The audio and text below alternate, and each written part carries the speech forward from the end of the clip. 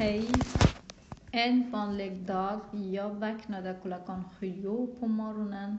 Jag åt ägg och mjölk till frukost och jag hade till tandläkare. Jag gick till tandläkare. Jag kände ont i tänderna. Efter min läkare då jag kände bättre min tänderna. Jag åkte mot skolan. Min jag hade inte egna böcker och iPad skrivbord.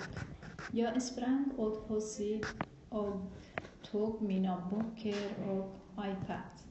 Gick jag till bussplats. Tyvärr, jag missade buss och jag tillbaka hem igen. Jag blev ledsen. Jag satte mig med personalen och pratade i ungefär två timmar och sen jag, sen jag sov hela dagen.